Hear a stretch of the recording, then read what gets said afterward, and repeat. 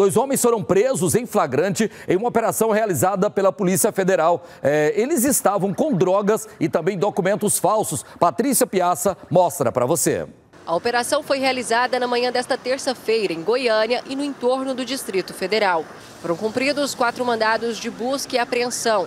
Durante as diligências, a polícia prendeu em flagrante dois homens. Eles tinham consigo maconha e cocaína, né, provavelmente para mercancia, né, embora é, transportadores, né, eles também são usuários e embora usuários também vendem, né, então a droga ela servia como amostra e também para consumo próprio.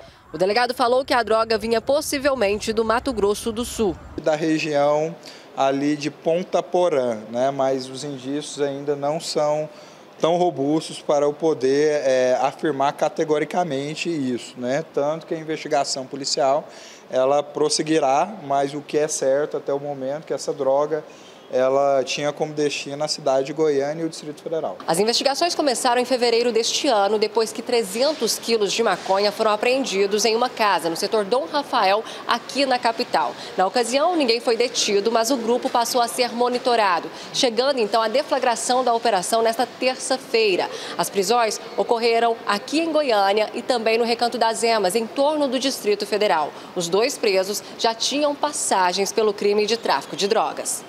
As investigações continuam a fim de identificar outros integrantes da organização criminosa.